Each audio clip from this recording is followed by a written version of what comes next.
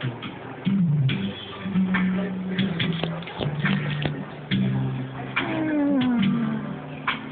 left, he left neither.